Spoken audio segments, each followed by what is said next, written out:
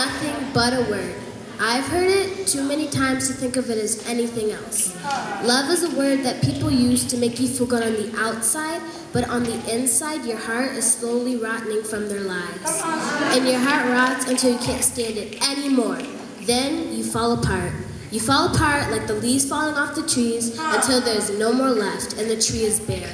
Your heart is left there in the cold, waiting and waiting to heal, but it never does. The pieces are waiting to be put back together, like a puzzle, but you can never find the missing piece. It's missing, gone.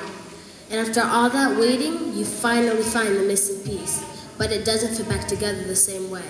You leave the last piece to your heart, sitting there on the cold ground. You can't seem to fix it. Your heart isn't healed. It's broke forever. Thursday, party all night. Thursday.